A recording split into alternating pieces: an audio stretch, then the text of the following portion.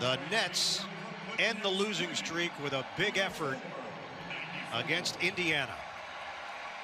Strong showing, 104-94 victory for Brooklyn. Nets improved to 15 and 12, showing some love to their former teammate Caris LeVert. And everybody just checking on him. LeVert, of course, had surgery to remove a small mass on his kidney, and the indicator is that everything is a-okay. Now it's just a matter of him getting back to a point where he can return to the NBA. He has been shooting and moving around a little bit, and a good sign that he's just on this trip. Absolutely. Great to see him. Great to see him smiling.